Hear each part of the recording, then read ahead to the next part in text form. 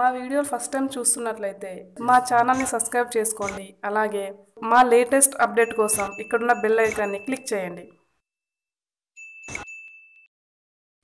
Welcome to CGS academy. ఈరోజు మనం problem చూద్దామండి. ఓకే?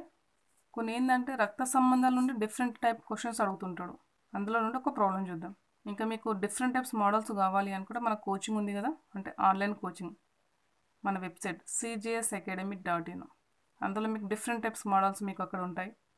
ఇంకోటి ఏంటంటే అందులో అంటే మీకు కోచింగ్లో డిఫరెంట్ టైప్ మోడల్స్ ఇవ్వడం జరుగుతుంది. క్వశ్చన్ ఎలా వచ్చినా ఆన్సర్ చేయగలుగుతారు. ఆ విధంగా ఉంటాయండి. ఓకేనా? ఇంకా మీరు ఎవరైనా కోచింగ్లో జాయిన్ అవ్వాలి అనుకునే వాళ్ళు మన వెబ్సైట్ ఉంది కదా సిజిఎస్ అకాడమీ డాట్ ఇన్ అని. అక్కడ మీరు జాయిన్ అయిపోవచ్చు. మన క్లాసులు ట్వంటీ ఫోర్ అవర్స్ మీరు చూసుకోవచ్చు అండి మీకున్న డ్యూరేషన్ ఎంత డ్యూరేషన్ ఉంటే అంత డ్యూరేషన్ వరకు మీరు చూసుకోవచ్చు. ప్లస్ ఏంటంటే మన క్లాస్లో పర్టికులర్ టైం అంటే ఏం లేదండి. ఈ డ్యూరేషన్లో మీరు కొన్ని వందల వేల సార్లు చూసుకోవచ్చు. అంటే మీకు క్లియర్గా అర్థమయ్యేంత వరకు చూసుకోవచ్చు. అంతేగాని మేడం ఎప్పుడో క్వశ్చన్ ఇస్తుంది కదా దాన్ని గ్యాదర్ చేసుకుందాం. ఓకే గ్యాదర్ చేసుకోవడంలో తప్పు లేదు. ఇది ఏంటంటే కాంపిటేటివ్ ఫీల్డ్ అండి. నాటే టెన్త్ క్లాస్ నాటే సెవెంత్ క్లాస్ ఎగ్జామ్ ఎందుకంటే వన్స్ ఒకసారి జాబ్ వచ్చిందనుకోండి లైఫ్లో సెటిల్ అయినట్టే. లేదు మేము అలాగే ఉంటాం అనుకుంటే ఇంకా నోటిఫికేషన్లు వస్తూ ఉంటాయి పోతూ ఉంటాయి మనం మాత్రం అక్కడే ఉంటాం. ఎందుకంటే ప్రిపేర్ అవుతూ ఉంటారు గవర్నమెంట్కి మీరు అమౌంట్ ఇస్తూ ఉంటారు. అవునా? ఎలా అంటారా? మీరు నోటిఫికేషన్ పడ్డప్పుడు అప్లికేషన్ పెట్టుకోవడం తర్వాత ఈవెంట్స్ కొట్టడం తర్వాత మీరు ఎగ్జామ్ కానీ పరుగులు తీయడం అంటే మీకు ఉన్న వెహికల్ పైనో లేకుంటే బస్సుల పైనో లేకుంటే హాస్టల్లో ఉండడం ఇవన్నీ గవర్నమెంట్కి మీరు అమౌంట్ ఇస్తున్నట్టుగా అలా ఎన్ని సంవత్సరాలు కష్టపడతారు అనేది మీ ఇష్టం. లేదు మేము జాబ్ కొట్టుకొని వెళ్ళిపోతాం మా లైఫ్ సెట్ చేసుకుంటాం అనేది కూడా మీ ఇష్టమే. జాబ్ కొట్టుకొని వెళ్ళిపోతారా? లేకుంటే ఇంకా ఐదు సంవత్సరాలు లేదంటే ఇంకా పది సంవత్సరాలు ప్రిపేర్ అవుతారా? నెక్స్ట్ నోటిఫికేషన్ కోసం వెయిట్ చేస్తారా? మీ చాయిస్. ఎందుకంటే మీరు ఒక్కరే ఎగ్జామ్ రాయట్లేదండి. కొన్ని లక్షల మంది ఎగ్జామ్ రాస్తున్నారు. అందులో మీరు ఒక్కరు. ఆ మీ ఒక్కరికి ఆ ఒక్క జాబ్ కావాలి. మనకు ఇప్పుడు ఉన్న నోటిఫికేషన్లో కొన్ని వేల జాబ్స్ ఉన్నాయి. వేల జాబ్స్ అవసరం లేదండి. మీకు కావాల్సిన ఒకే ఒక్క జాబ్. ఆ ఒకే జాబ్కి నువ్వు ఎలిజిబుల్లా కాదా అనేది నువ్వు డిసైడ్ అవ్వు. ఎందుకంటే నీలాంటి వాళ్ళు కొన్ని లక్షల మంది రాస్తున్నారండి. ఆ లక్షల మందిలోకి వెళ్ళి నువ్వు దాటుకొని రావాలి. అది ఎప్పుడు దాటుకొని రాగలుగుతావు అనేది డిసైడ్ అవ్వు. అంటే నీ దగ్గర సబ్జెక్ట్ ఉన్నప్పుడు మాత్రమే సాధ్యం అవుతుంది. సబ్జెక్టు లేకుండా సాధ్యం అవ్వదు. ఇది మాత్రం క్లియర్. ఓకేనా? ప్రాబ్లం చూద్దామండి. ఎందుకంటే ఇలాంటి ప్రాబ్లమ్స్ కూడా వచ్చి చాయిస్ ఉన్నాయి. డిఫరెంట్ డిఫరెంట్ టైప్స్ ఉన్నాయండి మన కోచింగ్లో. మీరు అక్కడ కూడా జాయిన్ అయిపోవచ్చు. మీరు అక్కడ జాయిన్ అయిపోయి చూసుకోవచ్చు. గుర్తుంది కదా? మన website CGS academy dot in లేదా L T R Y dot in okay? మీకు ఇక్కడ మీకు మొబైల్ నెంబర్ ఉంటుంది. ఆ మొబైల్ కాల్ చేసి మీరు జాయిన్ అయిపోవచ్చు. లేదంటే డైరెక్ట్ కూడా జాయిన్ అయిపోవచ్చు. మీరు జాయిన్ అయిపోయిన ఎంబడే మీకు పది నుండి పదిహేను నిమిషాల్లో సీజీఎస్ అకాడమీ నుండి ఫోన్స్ రావడం జరుగుతుంది. ఇంకోటి ఏంటంటే మీరు జాయిన్ అయిపోయిన ఎంబడే మీకు సీజీఎస్ అకాడమీ నుండి మెయిల్ రావడం జరుగుతుంది ఫస్ట్ ఆఫ్ ఆల్. జస్ట్ సెకండ్స్లో మెయిల్ రావడం జరుగుతుంది. మీరు ఆల్రెడీ సీజీఎస్ అకాడమీ జాయిన్ అయిపోయారండి. మీ క్లాసులో మీకు యాక్టివేట్ అయితే క్లాసులని కూడా మీకు ఫోన్ చేసి చెప్పడమో లేకుంటే మెయిల్ రావడం ఇంబడే వచ్చేస్తుంటాయి. ఇబ్బంది పడాల్సిన అవసరం లేదు. కొందరు ఏంటంటే మేడం అన్ని కోచింగ్ సెంటర్లో కొంచెం అటు ఇటు ఉంది. అలా కాదండి సీజీఎస్ అకాడమీ అంటే. ఓకేనా? మీరు కట్టే ప్రతి రూపాయి కూడా మా దగ్గర ఆన్సర్ ఉంటుంది. ఇబ్బంది పడాల్సిన అవసరం లేదు. రియల్గా చెప్పాలంటే బయటికి వెళ్తే కొన్ని వేలు ఖర్చు పెట్టుకుంటున్నామండి. కానీ సబ్జెక్టు రాని వాళ్ళు చాలామంది ఉన్నారు. ఎందుకంటే నాకు ఆల్రెడీ కోచింగ్లో చాలామంది ఎదురవుతున్నారు. మన దగ్గర కోచింగ్ చాలామంది జాయిన్ అయిపోయారు వాళ్ళు చెప్పేవాడు అదే. మేడం ఇంతకుముందు మేము ఆల్రెడీ కోచింగ్ తీసుకున్నాము కానీ ఏం నేర్చుకోలేకపోయినాము. ఇక్కడ కాస్త కూస్త మ్యాథ్స్ అంటే ఏందో తెలుసుకుంటున్నాం. మేము కూడా చేస్తామని ఒక ధైర్యం వస్తుంది అని చాలామంది అంటున్నారు. ఎందుకంటే గతంలో సచివాలయం ఎగ్జామ్ జరిగింది. అందులో ఎంతమంది సెటిల్ అయిపోయారు? మన సీజీఎస్ అకాడమీ తరపున అనేది కూడా మీరే డిసైడ్ అవ్వండి. ఎందుకంటే మీ బ్రదర్స్ మీ సిస్టర్స్ రాసి ఉంటారు కదా వాళ్ళని అడగండి. సీజీఎస్ అకాడమీ అంటే ఏంటి అని. వాళ్ళు చెప్తారు. నేను స్పెషల్గా చెప్పాల్సిన అవసరం లేదు. వాళ్ళు ఎక్స్ప్లెయిన్ చేస్తారు సీజీఎస్ అకాడమీ అంటే ఇది అని. ఎందుకంటే అంత పర్టికులర్గా అంత నీట్గా క్వశ్చన్లు ఉంటాయి అంత నీట్గా ఎక్స్ప్లెయిన్ ఉంటుంది అంత నీట్గా అర్థమవుతుంది. ఓకేనా? మనకు అర్థమైనప్పుడు ఏమైనా చేయగలుగుతామండి. అర్థం కానప్పుడు ఏమీ చేయలేం అక్కడే ఉంటాం. మనం కోచింగ్కి వెళ్ళి కొన్ని వేలు ఖర్చు పెట్టుకున్నామా లక్షలు ఖర్చు పెట్టుకున్నామా అని ఎవరు అడగరండి. నీకు జాబ్ వచ్చిందా రాలేదా? సార్ నువ్వు లక్షలు ఖర్చు పెట్టినావు జాబ్ రాలేదు. సమాజం నేను ఇలా చూస్తుంది? అది నువ్వే డిసైడ్ అయిపో. నీ లైఫ్ ఏంది నువ్వేంది నువ్వు ఎటు వెళ్ళాలనుకుంటున్నావు అనేది కూడా నువ్వే డిసైడ్ అయిపో. స్పెషల్గా ఎవరు చెప్పారండి. ఎందుకంటే నాటే చిల్డ్రన్. మీ చిన్నపిల్లలు కాదు. మీరు ఒక జాబ్ కోసం పోటీ పడుతున్నారంటే చిన్నపిల్లలు కాదు కదా. చిన్నపిల్లలు అంటే వాళ్ళకి అవసరం లేదు జాబు. మీకు జాబ్ కావాలి కాబట్టి మీరు ఎంత హార్డ్ వర్క్ చేయాలి అసలు ఏంది అనేది మీరే డిసైడ్ అయిపోండి. ఓకే?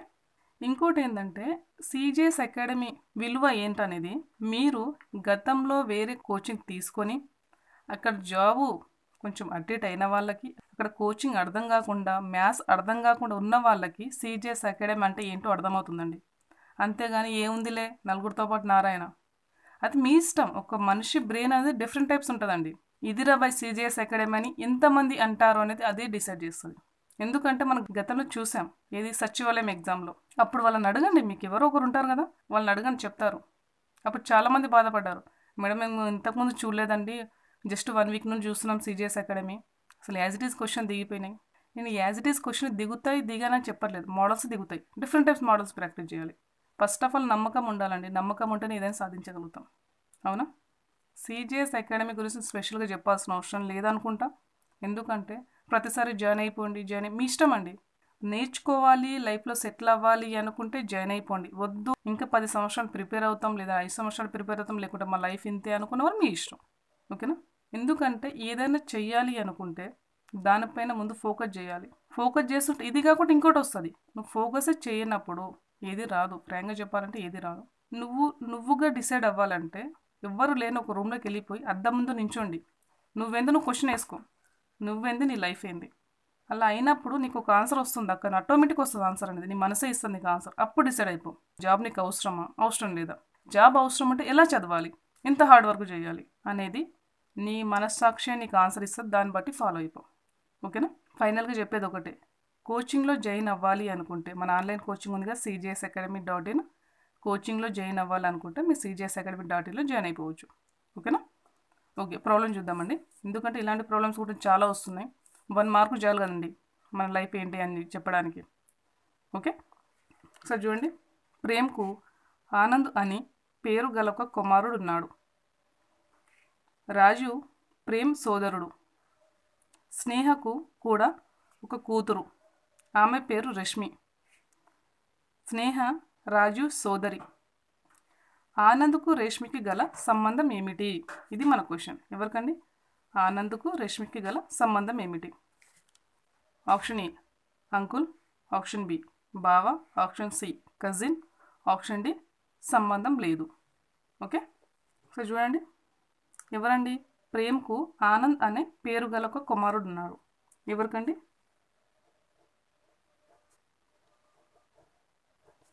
ప్రేమ్కు ఎవరు? ఆనంద్. ఆనంద్ అనే ఒక కుమారుడు ఉన్నాడు నెక్స్ట్. ఇక్కడ వరకు క్లియర్ అయిపోయిందండి.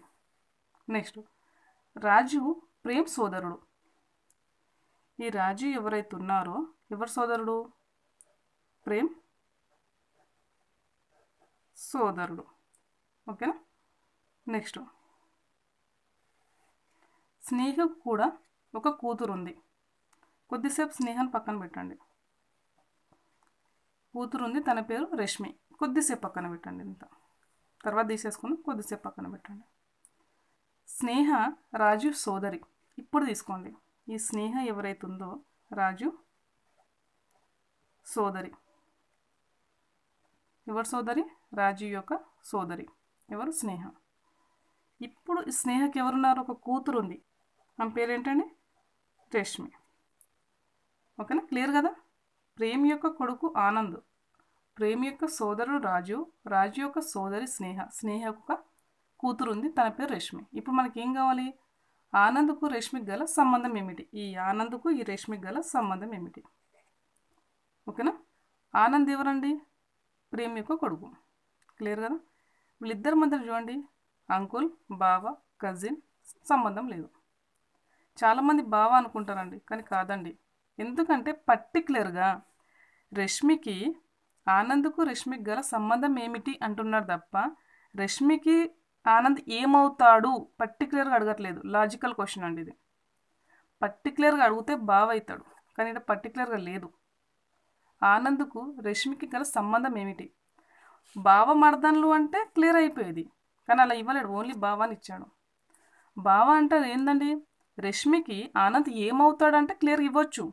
వాళ్ళ ఇద్దరి మధ్య సంబంధం అంటున్నాడు కాబట్టి మీ ఆన్సర్ సి అండి. కజిన్ అనేది మీ ఆన్సర్. అంతేగాని ఇది మాత్రం కాదండి. చాలామంది ఇక్కడికే ఆన్సర్ పెట్టేస్తుంటారు. అలా పెట్టడం వల్ల వన్ మార్క్ పోతుంది. అది మీ చాయిస్. ఓకేనా?